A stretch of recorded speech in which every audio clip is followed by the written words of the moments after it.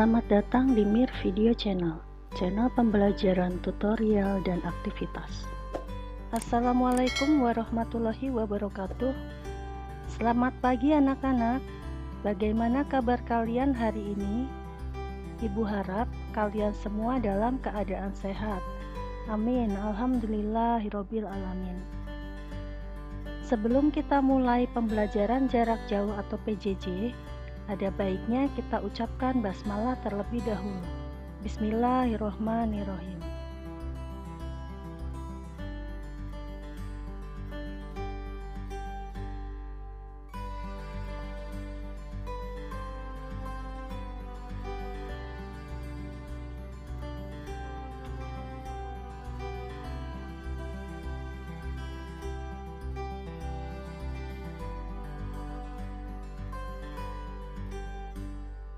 Anak-anakku, ibu mengingatkan kembali, pada masa pandemi ini, kalian harus selalu memakai masker saat bepergian.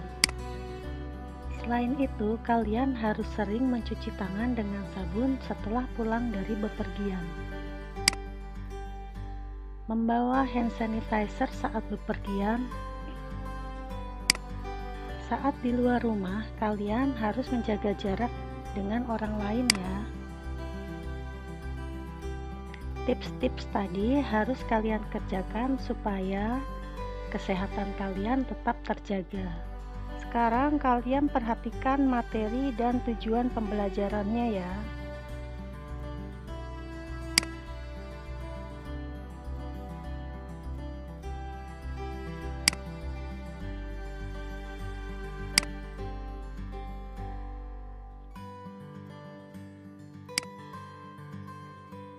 Tema hari ini adalah tema 4 globalisasi dengan materi pembelajaran organisasi ASEAN.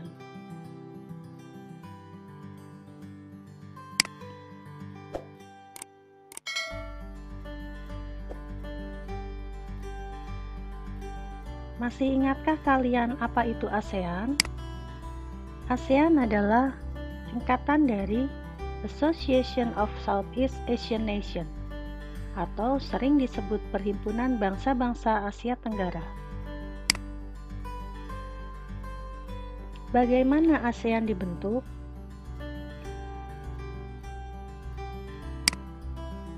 ASEAN dibentuk oleh lima negara di kawasan Asia Tenggara. Indonesia, Malaysia, Singapura, Filipina, dan Thailand. Perwakilan dari lima negara tersebut menandatangani deklarasi Bangkok, yaitu tepatnya pada tanggal 8 Agustus 1967 di Bangkok, Thailand.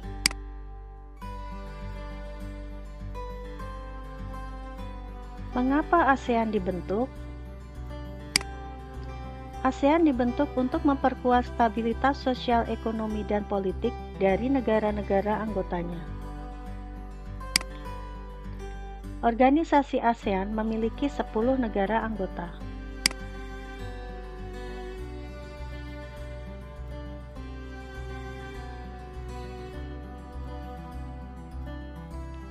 Sebagai salah satu pemrakarsa berdirinya ASEAN, Indonesia memiliki peran yang cukup besar. Indonesia telah menggagas beberapa kegiatan yang dilakukan dalam organisasi ini. Selain itu, Sekretariat ASEAN juga terletak di kota Jakarta, Indonesia. Pada video ini, kalian akan mempelajari lebih lanjut tentang organisasi ASEAN.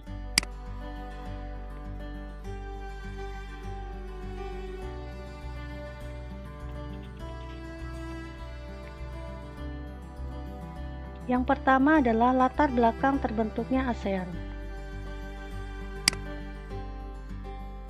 Latar belakang berdirinya ASEAN 1. Persamaan letak wilayah yaitu di Asia Tenggara 2. Persamaan nasib sebagai bangsa yang pernah dijajah bangsa asing kecuali Thailand 3. Adanya perselisihan di beberapa negara di wilayah Asia Tenggara yang dapat mengancam persatuan 4.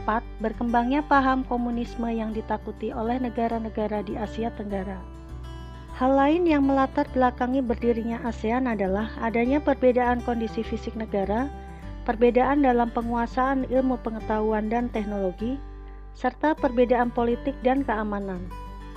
Terbentuknya organisasi ini juga didasarkan pada kepentingan dan masalah bersama yang dihadapi negara-negara di Asia Tenggara.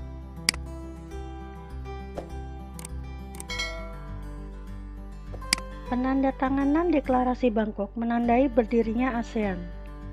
Deklarasi Bangkok tersebut ditandatangani oleh lima menteri luar negeri dari lima negara.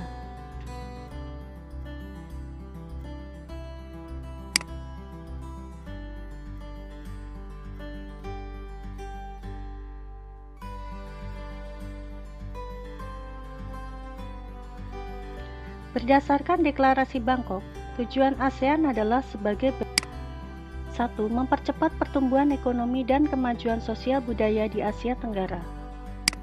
Dua, memajukan perdamaian dan stabilitas kawasan dengan tetap menghormati keadilan dan penegakan hukum. Tiga, meningkatkan kerjasama dan rasa saling membantu untuk kepentingan bersama dalam bidang ilmu pengetahuan dan teknologi atau IPTEK. 4. Meningkatkan kerjasama di bidang pertanian, industri, perdagangan, transportasi, dan komunikasi. 5. Memelihara kerjasama dengan organisasi-organisasi internasional dan regional. 6. Meningkatkan stabilitas dalam bidang politik dan keamanan.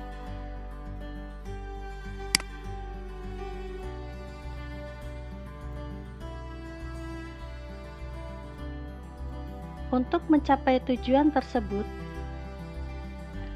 ASEAN menjalin kerjasama berdasarkan prinsip-prinsip berikut.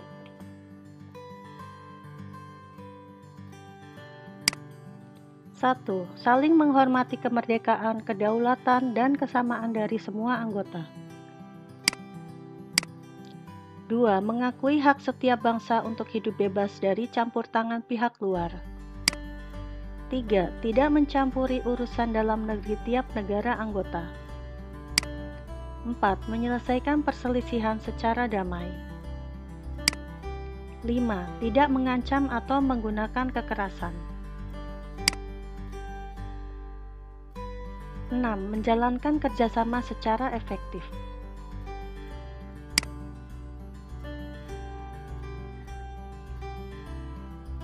Setelah kita mempelajari latar belakang terbentuknya ASEAN, sekarang kita pelajari lambang ASEAN. Perhatikan gambar berikut. Ini adalah gambar lambang ASEAN.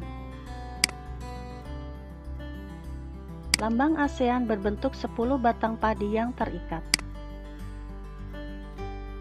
Jumlah yang 10 berdasarkan jumlah negara anggota ASEAN. Padi digunakan sebagai lambang ASEAN karena mayoritas penduduk ASEAN menjadikan padi sebagai makanan pokok, serta hasil pertanian utamanya adalah padi. Warna kuning pada batang padi menggambarkan kemakmuran dan kesejahteraan negara anggota ASEAN. Warna merah pada latar belakang simbol padi melambangkan sikap berani dan dinamis. Warna putih melambangkan kesucian. Lingkaran putih menunjukkan bahwa negara anggota ASEAN memegang teguh persatuan dan kesatuan dengan hati suci. Lingkaran biru melambangkan persatuan dan kesatuan untuk menjaga perdamaian dan keamanan. Warna biru melambangkan perdamaian dan keamanan.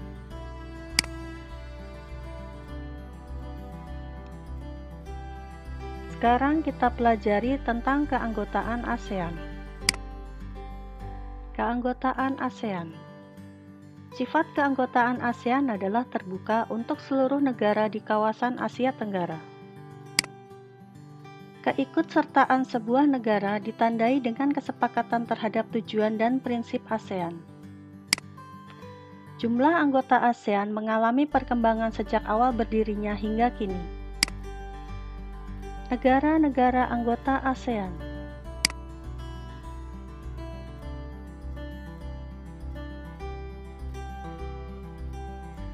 Perhatikan layar berikut. Di sini ada 10 negara dan ada penjelasan tangga bergabungnya menjadi anggota ASEAN.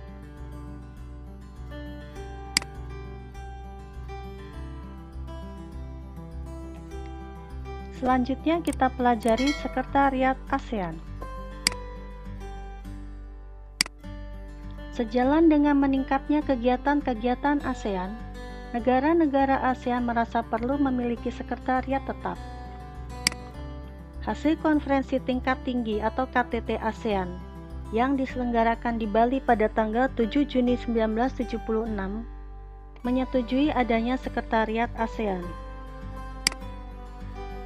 Setelah itu, sekretariat tetap ASEAN diputuskan berkedudukan di Jakarta, tepatnya di Jalan Sisingamangaraja, Jakarta Selatan.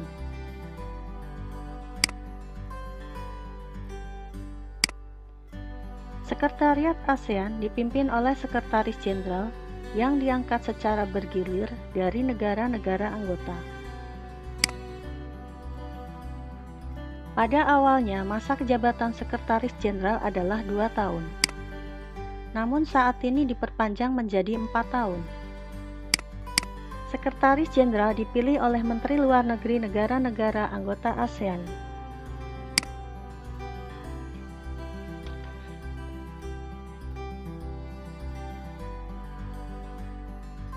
Berikut adalah daftar nama Sekretaris Jenderal ASEAN dari pertama hingga saat ini.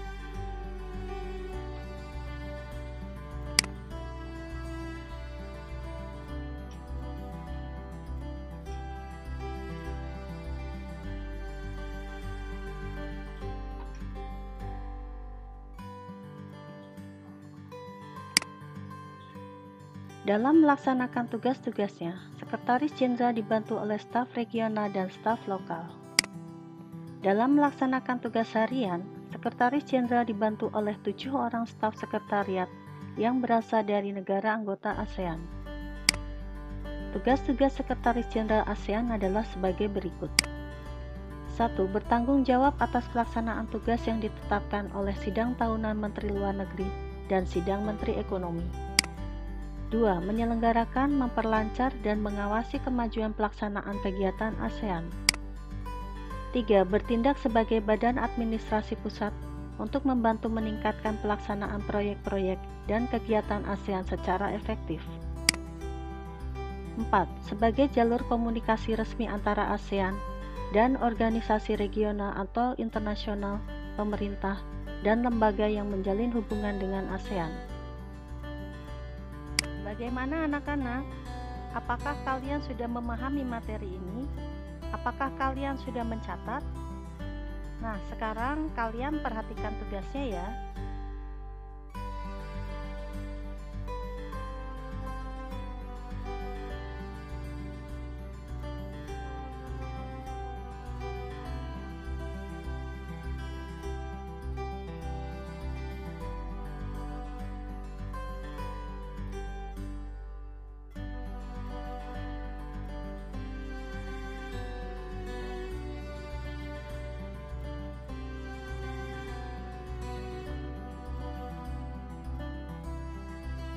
Demikian pembelajaran hari ini.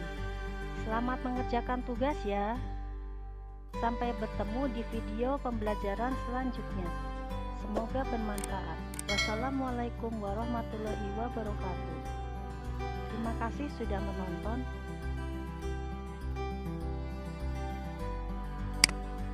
Terima kasih sudah menonton Mir Video Channel.